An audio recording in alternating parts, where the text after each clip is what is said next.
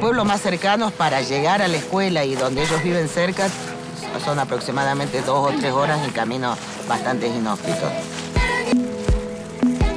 Y mi hijo camina todo el día llegando de la casa. Y es unos seis kilómetros más o menos que tiene que caminar. Todos los días a las 7 de la mañana, ahí haga frío, haga calor, llueva, llegan.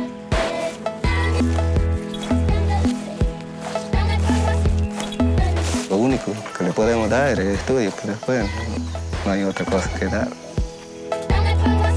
Terminamos el séptimo grado y quedamos, quedamos aquí porque nuestro padre ya no tenía cómo decir vamos a salir al pueblo, vamos a salir a otra comunidad para que los chicos sigan estudiando. Eh, Es lindo tener un trabajo. Y por eso le digo que estudien. Yo creo que es una gran ventaja. Y no quedarse acá en el campo solamente, ser eh, agricultor nada más y, y llenarse de hijos y, y- y ahí termina todo. Gracias a Dios ahora como está en la secundaria y tenemos una posibilidad más para nuestro hijo.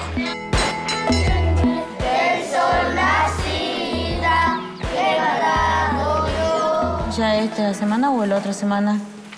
¿Se acuerdan ustedes? ¿La otra semana? Bueno. Gaby, esto dejó la profesora de Bionano para ustedes.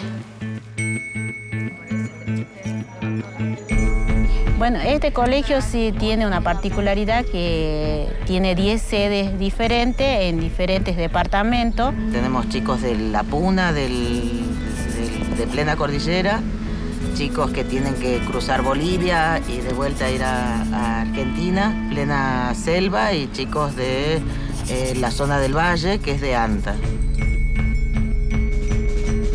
Este dispositivo eh, se caracteriza por tener una peculiaridad que es eh, contar con tres actores fundamentales en el proceso educativo. Tradicionalmente son dos, el profesor y el alumno.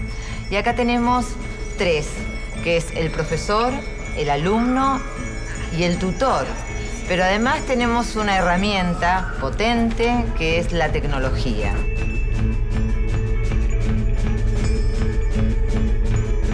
Bueno, no- nosotros entramos aquí en la plataforma. Ahí pongamos la contraseña, usuario, nombre.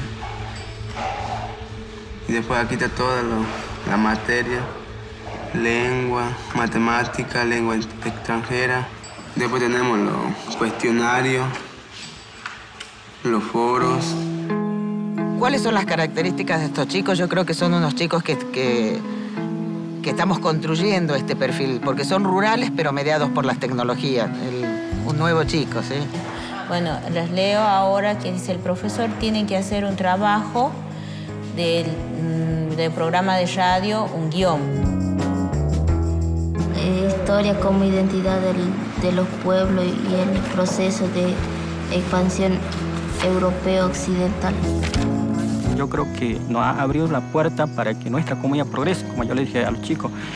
Si usted- ustedes estudian, tenemos la mejor capacidad, digamos, para poder progresar como comunidad, porque a veces cuando los chicos no estudian, también no tenemos la capacidad para salir a, a pedir o desenvolverse ante las autoridades.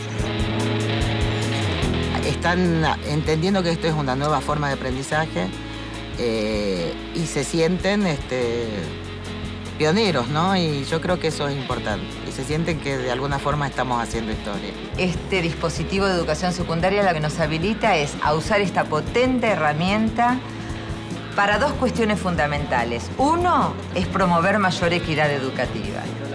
Y la otra, aprender a usar esta herramienta como un medio para mejorar los aprendizajes. Esa es nuestra esperanza en las TICs.